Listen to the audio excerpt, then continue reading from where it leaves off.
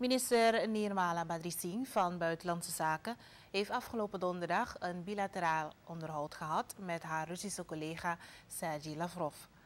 Deze bespreking vond plaats in de marge van de 71ste Algemene Vergadering van de Verenigde Naties, die momenteel in New York wordt gehouden.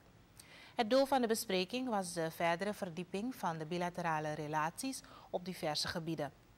Er werd ook gesproken over de samenwerking op het gebied van onderwijs, wetenschap en cultuur, handel en economie, in het bijzonder de agrarische sector en militaire samenwerking. Beide landen hebben ook stilgestaan bij de diverse conceptovereenkomsten die zij nog in voorbereiding hebben en memoreerden de positieve ontwikkeling in de dialoog tussen de twee landen.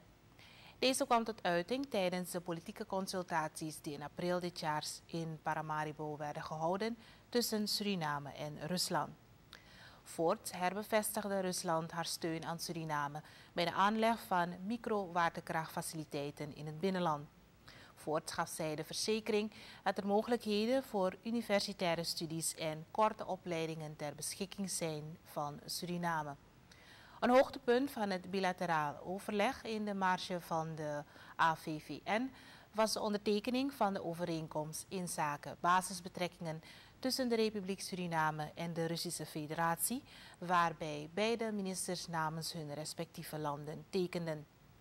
Een direct resultaat van de intensivering van de relatie tussen beide landen is het geplande bezoek van een Russische defensiedelegatie aan Suriname.